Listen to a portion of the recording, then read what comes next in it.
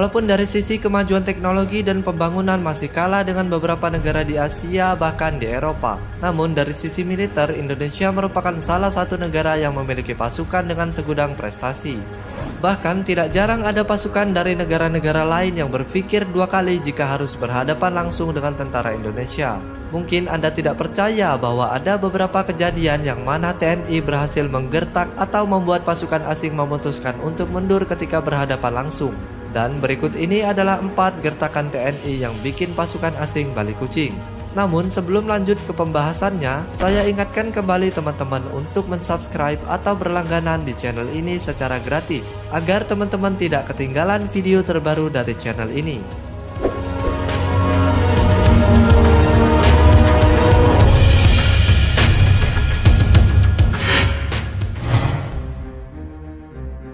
Pasukan Garuda 2 vs ANC atau Army Nation of Colonges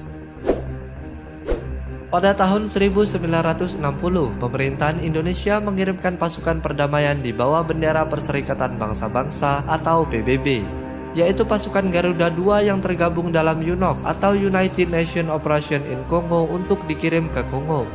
Pengiriman pasukan tersebut karena konflik berkepanjangan antara Kongo dan Belgia dan menangani beberapa konflik antar suku yang terjadi sampai dengan meredam agresi ANC atau Army Nation of Colonges.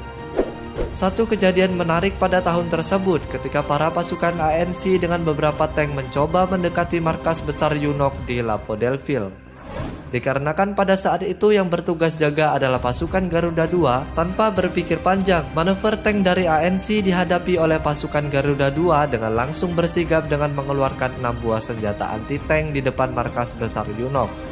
Melihat pasukan Garuda II yang tergabung dalam Yunok sudah siap menembak, tank-tank ANC tersebut langsung mundur dan meninggalkan tempat tersebut.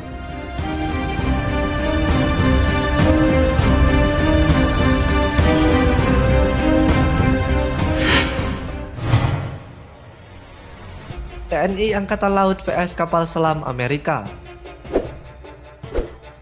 di akhir bulan Januari 2016 yang lalu, ada pemberitaan bahwa helikopter TNI Angkatan Laut sedang melakukan pengawalan terhadap kapal selam Amerika Serikat, yaitu USS Tucson SSN 770 di Selat Malaka. Namun ternyata hal tersebut dibantah oleh Kepala Dinas Penerangan Angkatan Laut Laksamana Pertama M. Zainuddin.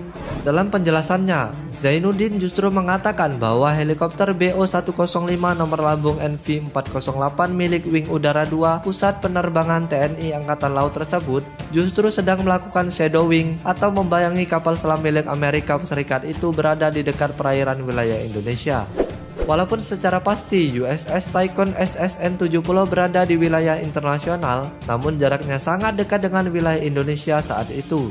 Dikarenakan hal tersebut, helikopter yang dipiloti Kapten Laut P. S. Hayat dan Letu Laut P. Asgar Serli langsung melakukan shadowing dengan tujuan memantau agar kapal selam tersebut tidak masuk ke perairan Indonesia.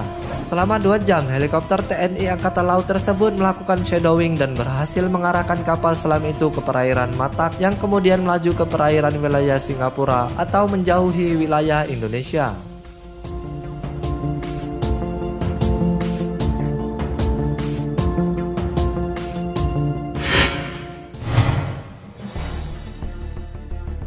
Auri vs Angkatan Laut Inggris. Pada tanggal 27 Agustus 1965, sebuah kapal induk HMS Victorious dan kapal perusak HMS Counter yang dimiliki armada laut angkatan Inggris mencoba mencari gara-gara dengan masuk tanpa izin melewati wilayah Indonesia melalui Selat Malaka dan rencana melewati Selat Sunda untuk menuju Australia. Kejadian tersebut terjadi saat ketegangan antara Indonesia dan Malaysia yang mana merupakan Commonwealth Inggris meningkat. Karena dianggap melanggar wilayah tanpa izin, maka Marsikal Pedet Sudarman yang saat itu menjabat sebagai komandan Sukadron langsung menyambut armada perang Inggris itu dengan mengerahkan pesawat pengembom B-52 atau TU-16 Badger yang didatangkan langsung dari Lanut Halim Perdana Kusuma, Jakarta. Setelah pesawat TU-16 Badger tersebut melakukan beberapa manuver untuk memberikan ancaman ke kedua kapal perang itu, Sudarman kemudian memberikan imbauan agar mereka keluar dari wilayah Indonesia jika tidak ingin berkonfrontasi langsung. Hasilnya, armada laut Inggris tersebut akhirnya putar haluan dan menjauhi wilayah Indonesia.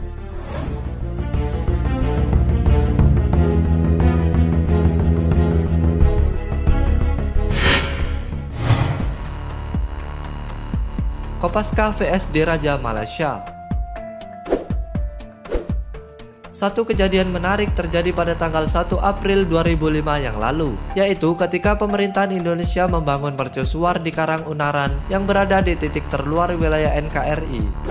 Karena munculnya ketegangan antara Indonesia dan Malaysia di Blok Ambalat, ternyata saat pekerja sedang membangun mercusuar tersebut, tentara laut diraja Malaysia dan Marine Police Malaysia melakukan manuver di sekitar tempat tersebut yang membuat gelombang laut menghempas beberapa pekerja. Mengetahui hal ini, kapal patrol TNI Angkatan Laut KRI Tedong Naga yang berada di tempat tersebut mencoba melakukan imbauan agar kedua kapal dari Malaysia tersebut bersedia menjauhi wilayah Indonesia. Sayangnya himbauan tersebut tidak digubris dan kedua kapal asing itu justru membuang jangkar untuk berhenti di tempat tersebut. Merasa diacuhkan, Komandan KRI menghubungi Komandan Pasukan Katak yaitu Kopaska dari TNI Angkatan Laut untuk memberikan bantuan menghalau pasukan Malaysia itu. Pada saat itu, Serka Ismail meluncur ke kapal Malaysia setelah mendapatkan izin dari Komandan Tim Kopaska Letu Berni. Tanpa sepengetahuan awak kapal dari armada Malaysia, Serka Ismail berhasil menyelinap masuk ke kapal dan mendobrak pintu kemudian mencari kapten kapal. Setelah bertemu dengan kapten kapal, Serka Ismail mengancam akan meledakkan tali jangkar tersebut. Tak seberapa lama, kedua kapal Malaysia tersebut mengangkat jangkar dan meninggalkan perairan Indonesia. Itulah empat gertakan TNI yang bikin pasukan asing balik kucing. Terima kasih buat kamu semua yang sudah menonton video ini. Jangan lupa untuk menyaksikan video terbaru dari channel ini. Terima kasih dan sampai jumpa.